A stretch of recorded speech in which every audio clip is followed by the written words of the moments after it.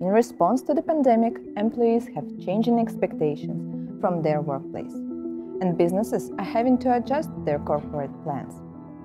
The elusive return to the office date has been indefinitely postponed. What should companies do about it? Is it possible to find a solution that fits employees' needs and allows them to maintain a high level of productivity in the long run? One of the things that I like to focus on is how do you connect with everybody on your team? There's always something that you can connect on, and you can't just be a robot. You can't just have this, hey, here's a list of five things we have to do. No, it's how does this person interact with you? How do you build your relationships? How do you interact on a daily basis? Because that's what everything is built upon. Back when we were kind of deciding how we were going to make this return to the office, there were three options on the table.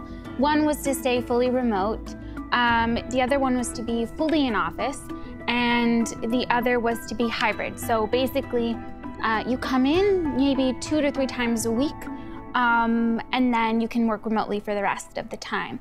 Uh, different departments and divisions in the company chose different things. Uh, in the comms division, we actually, the majority uh, preferred hybrid. So that's what our system is right now. Remote work, it's a test for maturity of your processes. If they are uh, good documented, if they are repeatable, if the level of their maturity is pretty high, it's not a problem for them to be implemented in remote scenario. It's especially important to create and support a healthy organizational culture and to ensure the positive mental health of my employees. For example, I established regular online team meetings not only to share work progress, but also to provide opportunities for us to support one each other.